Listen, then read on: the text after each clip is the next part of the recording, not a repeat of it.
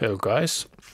Which band should you choose for emergency communication at which time of the day? F- for closer contacts, also not DX contacts, for I would say not more than 400 kilometer.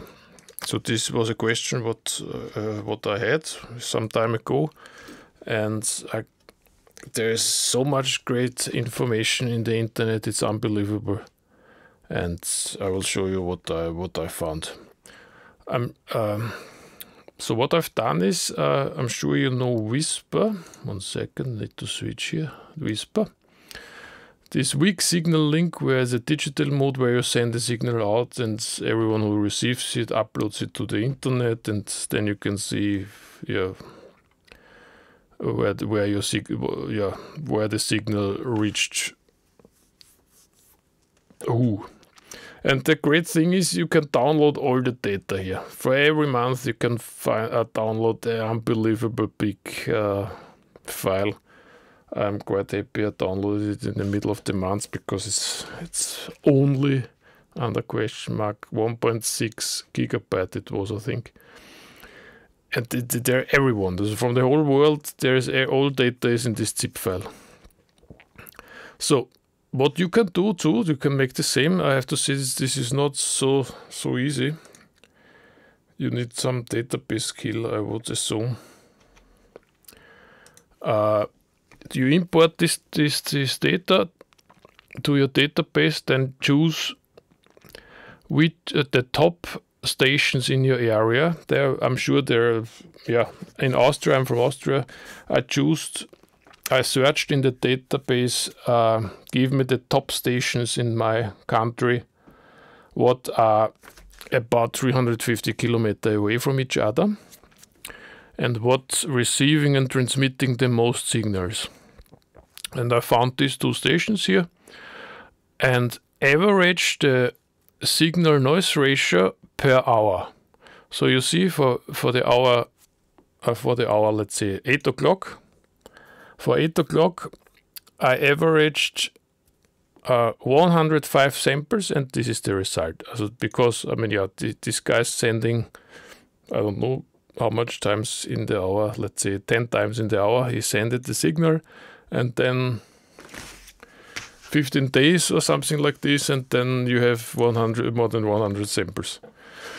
So this is uh, the more samples you have, of course, the, the better. And this is uh, yeah, this is amazing because we this is real life data. This is no crazy uh, computer calculated model. We know how wrong the models can be. Uh, this is what what it really is. You see during the day when the sun comes out, uh, the signals are much stronger than in the night. This is 40 meters here, 40 meter band, and here on the right you see uh, here you see the 80 meters. Uh, and in the on the 80 meters, the cool thing is that it's more or less the opposite. During the day, it's it's not working. It's very very bad. It, this is 20 dB. It goes down nearly. And so, in my opinion, you should choose during the day when there is light out, sunlight, 40 meters, and only after, in the summer, this is for the summer, after midnight I would choose the, the 80 meters. But mostly 40 meters. It seems like this is the best. This is the best band. Uh, so yeah, I mean and I chose uh, different distances. So you see here 350 kilometer away, then uh, I choose stations what are approximately so 100, 200 kilometer. Here you see for 40 meters 100, 140 kilometers, and here I have 200 kilometers. Uh, the chart looks here more or less the same. These are completely two different stations here than here. The chart looks the same, more or less. Uh, and here we have 45 kilometers. It looks also quite similar. There is only uh, between 3 and 5 o'clock there. This is, by the way, UTC time. It's not Central European time, so two hours you need to add. uh, there are two hours or three hours missing. I think that's why this line goes so so up. Yeah, and that's the result. Yeah, 80 meters. I would choose only. Uh, yeah, in the middle of the night, between yeah two o'clock in the morning or something like this. But during the day, for closer contacts, of course, also for D, this is not nothing. This is no information for DX. This is uh, analyzed this only for for this for these distances.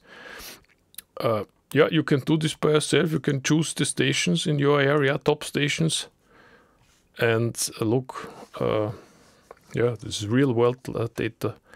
This is unbelievable that we have this. So thanks a lot to to the WSPR team and the, uh, the stations who who are running and we are we we can uh, analyze this the data awesome thanks a lot and bye bye